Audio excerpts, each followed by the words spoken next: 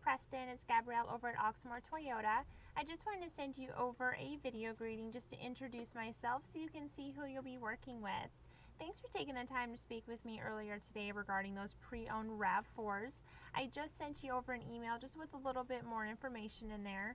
Um, if you have any questions, please feel free to give me a call. My phone number is 502-214-7142 or if you'd like, you can just reply back to this email.